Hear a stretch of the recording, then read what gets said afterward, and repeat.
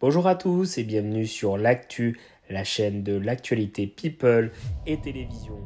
N'hésitez pas à liker la vidéo, à vous abonner et à la commenter. Les amourettes entre Pierre et Elena sont au centre de tous les débats.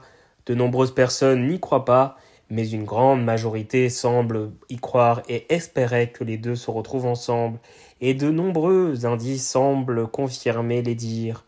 En effet, des téléspectateurs du live ont remarqué qu'avant de se coucher, Elena et Pierre étaient très proches. Il regarde sa bouche après, je pense que la réponse est claire. Moi, je pense à Julien le prof, il doit devenir un chandelle éternel. Mais ensuite, de faire des bêtises, aurait-on entendu sur le live. Ça se voit à son regard qu'il a envie d'elle.